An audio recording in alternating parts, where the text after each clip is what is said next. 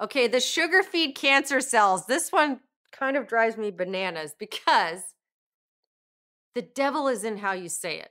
Cancer cells consume carbohydrate. It's their it's a preferred fuel.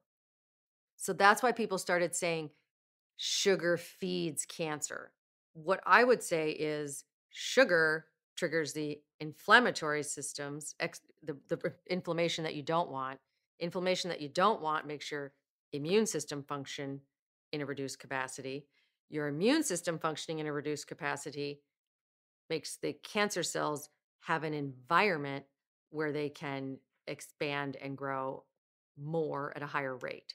However, all that being said, I don't want you to eat sugar when you have cancer. Reduce sugar lifestyle to prevent a lot of chronic diseases.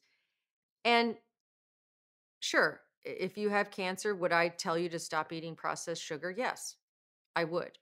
I just don't want people to be terrified of this concept that it, quote, feeds cancer.